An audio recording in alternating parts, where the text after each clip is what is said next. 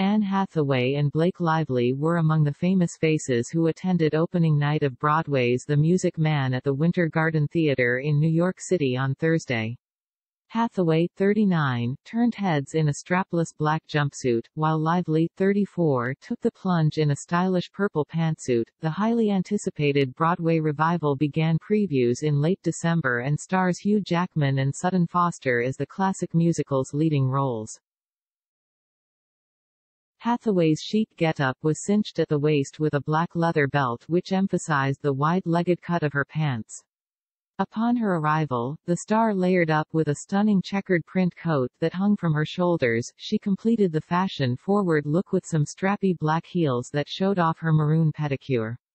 Hathaway's flowing brunette tresses were styled in an effortless half-up half-down hairdo and her fringe was bumped under to frame her face.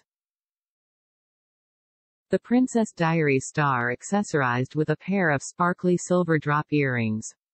As for makeup, Hathaway highlighted her doe eyes with smoky black eyeliner and plumped up her pout with some peach lip gloss. She posed on the pre-show red carpet with one hand in the pocket of her jumpsuit and the other clutching the gold chain strap of her purple designer purse. The New York native was joined during opening night by her handsome husband of nearly a decade, Adam Shulman. Shulman, 40, looked sharp in a classic black suit and tie with a crisp white dress shirt. The couple, who wed in 2012, share sons Jonathan, 5, and Jack, 2. Lively put on a sizzling display in head-to-toe purple as she worked the red carpet ahead of the big show.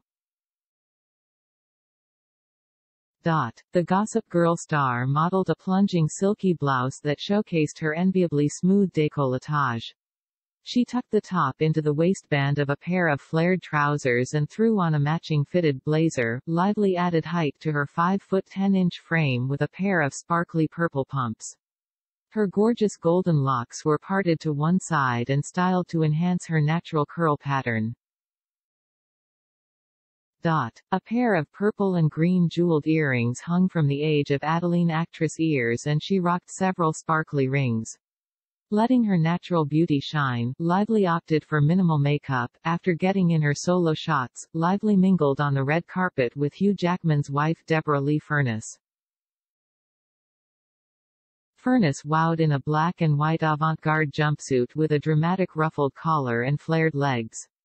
Her platinum blonde hair was swept up into a gold claw clip and she rocked a pair of silver drop earrings. The Shallows actress was also photographed sharing a sweet moment with her older sister Robin Lively.